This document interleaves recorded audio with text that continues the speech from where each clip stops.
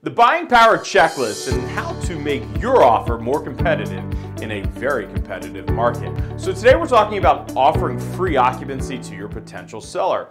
And really what this is, it's giving the seller the option to stay in the house at no charge for a certain period of time. Now, you do want to charge them $1 in order for consideration to be passed and just a bunch of legal stuff, but essentially you're offering them free occupancy for maybe seven days, five days, or a month.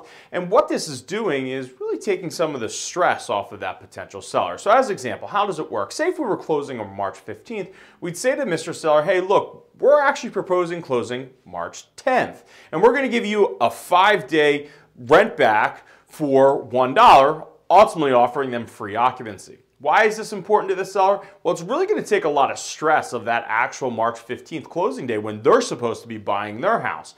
They're not having to worry about, well, will your funds come in and will those funds be settled and maybe going to two closings at the same time and just feeling extremely rushed in the process.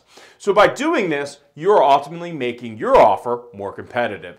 Now, there are a lot of other things on this list in order to make your offer more competitive and stand out in front of the crowd and really get your offer accepted in this extremely competitive market. Should you have any questions, you can always reach us at 617 480 2600. Visit us online at boston2.com or you can reach out to me directly at jeff at boston2.com. I'm Jeffrey Chubb with eXp Realty, looking forward to helping you buy your home in this competitive market.